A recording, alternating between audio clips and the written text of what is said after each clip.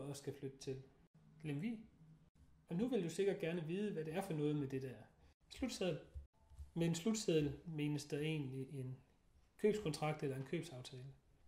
En købsaftale er det dokument, hvor køber og sælger øh, aftaler øh, overdragelsen af en fast ejendom. Husk også at være opmærksom på sådan noget som tinglysning, skøde, samejekontrakt osv. Jeg hedder Søren Vassegaard Andreasen, og jeg er advokat.